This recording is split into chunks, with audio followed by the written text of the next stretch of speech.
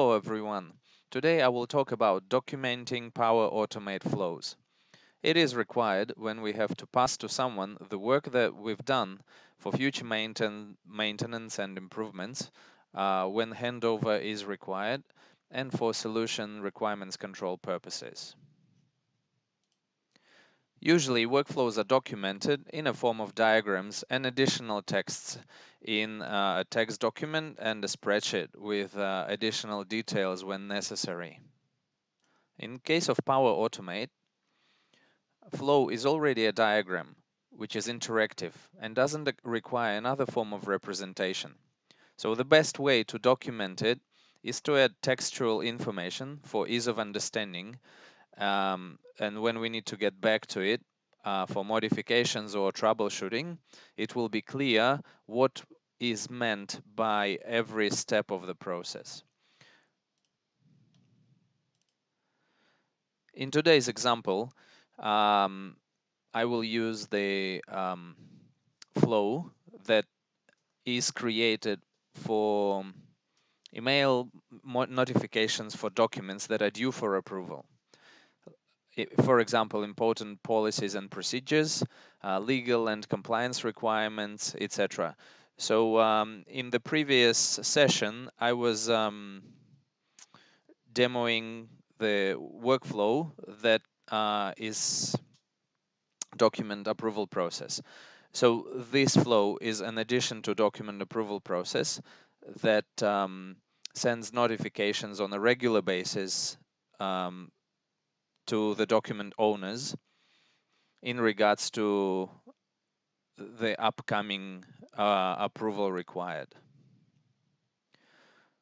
So for this, we've got um, a document library, which contains um, documents, and then there are three columns that are used in the document management. One is document owner, um, which is a person uh, document status, which is a choice, active, inactive, um, and then next review date.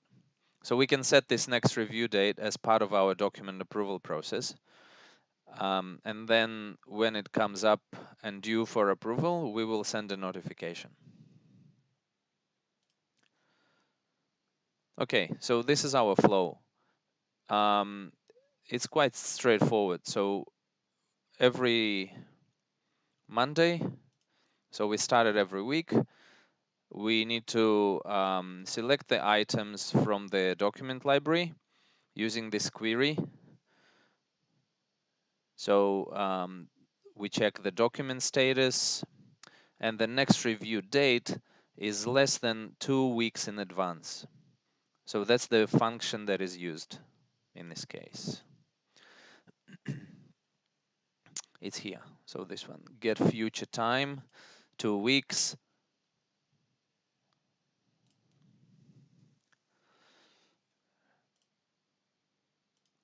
Then what we do is after the documents are returned, we do the um, the mapping to return the only the elements that we want. So in this case, we need uh, document owner emails and uh, the value is the the get items body and then um, we just need the for every document owner element we need that person's email. That's the value that we put here. Then we create a variable, uh, which we will use later to um, create the table with the documents that will be sent in the email. And um, we're doing this little trick to get only the unique emails and not all the emails.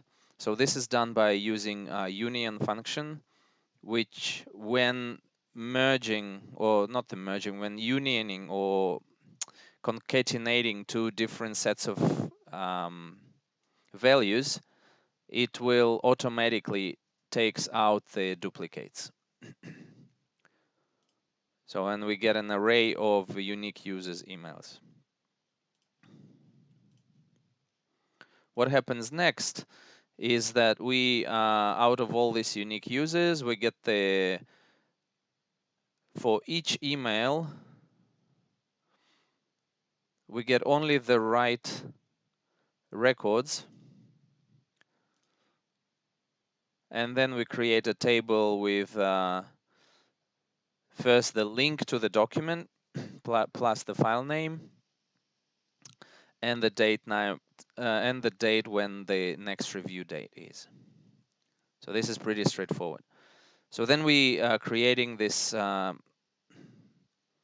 modifying this string variable that we created before with our HTML text. And then when it's all ready, we just basically send an email to the each person with that text. So the people are the owners. So all the owners of the documents will receive this notification if their documents are due for approval and review. So they have two weeks in our scenario to basically do the review and approval. All right. So in because we are discussing documenting, so first of all, I will need to make sure that all this, all the activities that I'm putting in the flow have enough information on the screen to be able to explain what they are. So for example, as I look here, uh, I will be able to tell straight away what are we doing and why. For this particular purpose, we can use two um, settings in the um, activity. So one is uh, we, we, so this you see get items is actually out of the box functionality when we add this get items activity. So it just gives us the generic name. So what we need to do is always just say get documents for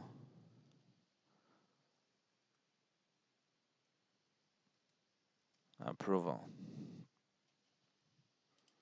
In this case, straight away, when we read this, it, it is clear what we are doing. In addition to that, we add a comment. So we say select documents from main uh, library where status is active and Next review date is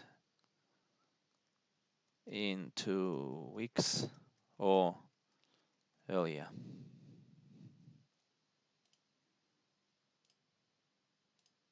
Right? So now if we expand that, we can see the comments here.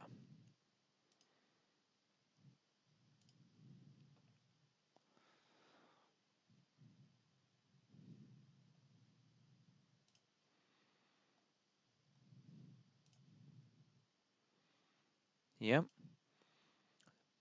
And we do this for every activity that we do. So we, we get, um, so we do select, document, owner, emails.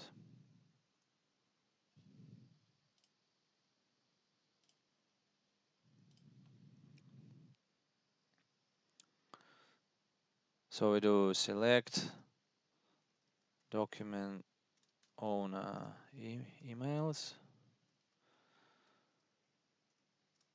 from the previous action output.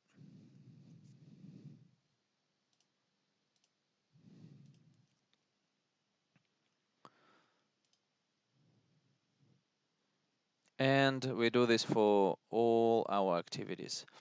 Usually for apply each, because if we do next one, it will do apply to each, two, three, and etc. So what I uh, usually do is I call it loop and whatever types of objects we are looping through. In this case, it's users, so we loop users. You see like this one, log current email value. So it tells us not just compose statement that we are using, but it tells us what are we doing. So logging the value. Filter array here will tell us that we filter filter um, users array by current email.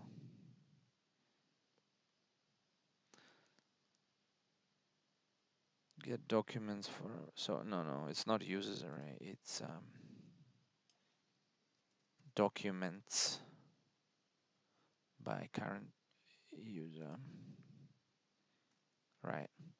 So now you see, because um, without this information, even even the author of the flow can be confused. Like, what are we filtering and why? And uh, when we're renaming and then put the name obviously in front of us, um, it helps a lot. So in this case, what we've done, and we say, so we save the flow. If there are problems, we just fix them. And then it's ready to go. So next time, uh, when you get back to this flow, uh, you can see what exactly happening for each activity and by itself is a very good form of um, dynamic documenting of the flow. Um, that's all for now. Um, if you are interested in um, viewing more videos on this channel, uh, please subscribe and um, and stay tuned for more interesting content.